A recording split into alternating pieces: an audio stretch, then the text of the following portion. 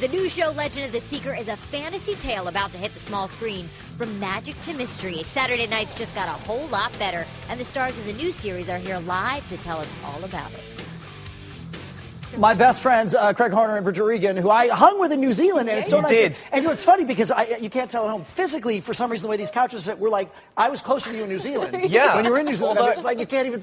I'm a little disappointed you're not wearing what you were wearing. In Did you New like Zealand. that? Oh, no, I like the open chest. You were really rocking it, man. Well, I, I, I wouldn't go that far. uh, let, let me, here's the thing that I think is so interesting, and very much in a personal way. You're from Southern California. You Grew up in Carlsbad, San Diego. You're going to go see your folks. You haven't seen them since when? Uh, I, you know, I haven't seen him in six months. My mom came to visit me in New Zealand, but you know, get to see my sis and everybody. And so this whole experience of being kind of locked away in New Zealand, and you come, you've done uh, The View, My Gosh, Regis and Kelly, all these great shows.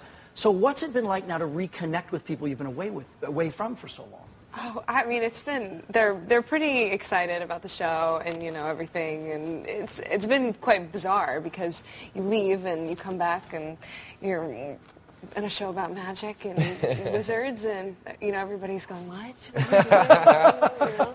But it's great. It's awesome. One thing that a lot of performers have said to me is that having an acting job is like this tremendous passport. And I mean, it's true for you. you you've never been to New York before? Yeah, I, I'd never been to New York, and I went three days ago for the first time ever, and I was blown away. I knew he would be. Oh, you knew I it, knew hey? it. I was like, you're gonna fall in love. Yeah, And he yeah. did. I only had because we're doing this big uh, kind of you know junket publicity Right. junket. I only had like a couple of hours in between here and there, so I would just like hit Manhattan and just walk the streets. You know, peak hour and just be like, whoa, whoa, whoa, whoa. You know, I was just Your blo- neck hurts at Yeah, end of the yeah, day. yeah, totally. I was like, this Yeah, city yeah. never ends. And, and, and as you're walking the streets there or here, the billboard is everywhere, the bus boards are everywhere. When you look at that, is that you? Do you know what I mean? Do you think, It's kind of um, I don't know. I'm just I'm just so happy that people are excited about the show and you know will watch and that they're getting the word out about it. So I'm pretty stoked whenever I see it. and for the uneducated, although we've, we've had some great discussions about it here, you, you are Richard, who was just like a regular guy, Regular Joe. and suddenly Kahlan comes along Yeah. and sort of informs you that you are actually Uh, I'm more than a regular Joe. Exactly. I don't really know what I am. I, I get told I'm this uh, seeker, and uh, Bridget's character Kahlan is from this land of magic, which uh, I'm not too sure about. But uh, she's going to take me there, and she's going to show me what it's all about. Well, conveniently enough, uh, the kids have brought a clip all the way from New Zealand. Premieres this Saturday. Take a look. I knew I had to find you. Darken Rahl has the power to speak to the dead. Maybe he was using the spirits to trap us, to stop us from doing what we have to. We can't let him. You stay with Zedd. I'll find Fane and the book, and I'll come back for you. You can't go alone. It's too dangerous. My destiny, my decision.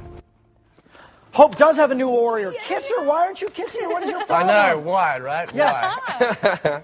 we'll Gotta see. wait for that. Yeah, we'll see.